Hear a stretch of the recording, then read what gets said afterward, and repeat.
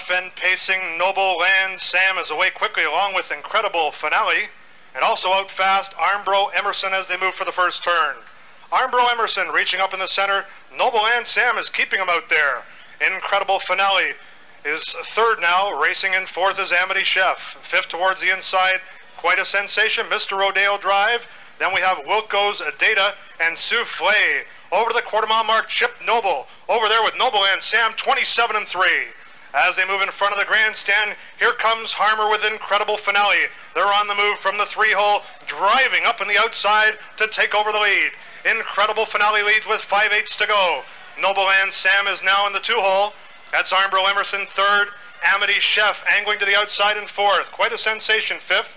Wilco's Data is sixth. Souffle seventh. And Mr. Rodeo Drive is eighth. They move over to the half mile mark. An incredible finale gets them over there 56 and 4. Harmer takes him to the backstretch with a length and a quarter advantage. Incredible finale has the lead. Noble Land Sam right in his heels. Amity Chef is first over now. Armbro Emerson is locked in at the rail in fourth. Trevor Ritchie quite a sensation. Pick up Amity Chef's cover in fifth. Wilco's Data gets into the outside flow in sixth. Souffle is seventh, and Mr. Rodeo Drive is eighth. Incredible finale takes him towards three quarters. Amity Chef right at his neck. Three quarters is reached. 126 and three. Midway the turn, incredible finale. Amity Chef is drawing alongside now. On the far outside, quite a sensation is poised for the final eighth. They're on the way to the wire in North America Cup 3.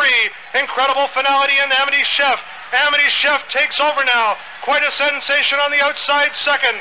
Amity Chef has the lead. Quite a sensation coming on. Amity Chef and quite a sensation together.